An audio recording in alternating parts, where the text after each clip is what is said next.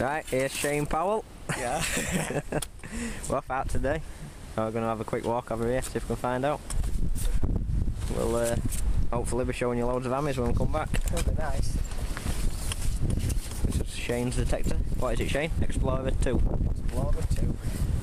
What's going to pieces? New Minelab versus Old Minelab. Yes. And he's got about 40 years experience. Cheers. right, we'll see you in a bit. Right, here's my first ever Minelab find. A lump of iron.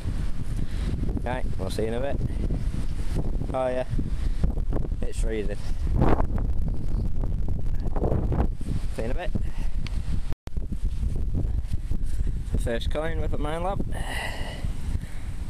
Uh, Elizabeth second half penny. Out of all, uh, about five inch deep. Oh, we'll see in a bit. Right, and boys and girls, here's my finds so far. A lot of crap. That button there, just had out of that hole there. And the pinpoint at floor level there. Another good 3 inch above that. What's that, 12 inch for a button? Loving it. Right, we'll see in a bit. I'm to have to go home soon because our lass has just phoned. She needs me home. So that's another day buggered. Oh. She don't know how long it takes to get home, does she? See you in a bit. Yeah, my next find. A 303 casing. Yeah, we'll see in a bit. Yeah, here we are, on the first trip out with Man Lab E-Trac today.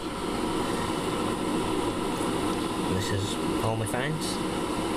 Bit of shit. Three bits of lead.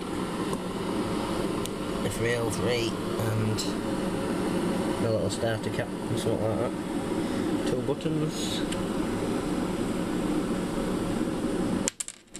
Yep.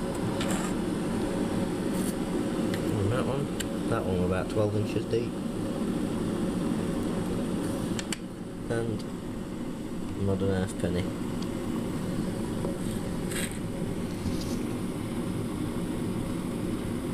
Right, and that's it. But yeah, loving the track. So hopefully better videos to follow. See you in a bit.